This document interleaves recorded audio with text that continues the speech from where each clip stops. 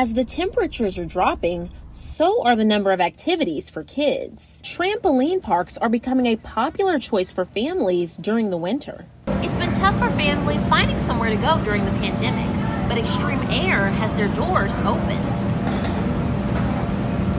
At Xtreme Air Trampoline Park in Appleton, it's all about reaching some major air while keeping things safe. And what we're trying to do by limiting capacity to 25% is make it a safe, family, affordable, fun environment. Steve Hudzak is the owner of Xtreme Air.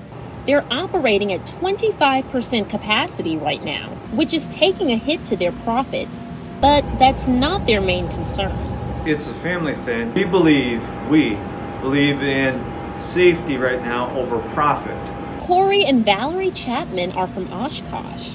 It's their first time bringing their girls to Xtreme Air. And, you know, been pent up in the house for quite a bit, and with three-year-olds and a five-year-old, that can get uh, a little bit crazy. And we were trying to find a place in the warm you know, with every with the cold temperatures and everything outside, trying to find something that we could do with them to celebrate their birthday. With a lot of places temporarily closed, it hasn't been easy. So we looked at the Milwaukee Zoo and a couple other things, and we really couldn't find anything. And then we started looking at the local trampoline parks, and that's where we ran across this place. We really loved it, and it's a great way for them to burn off their energy. In Appleton, Natasha Ero, Local 5 Digital.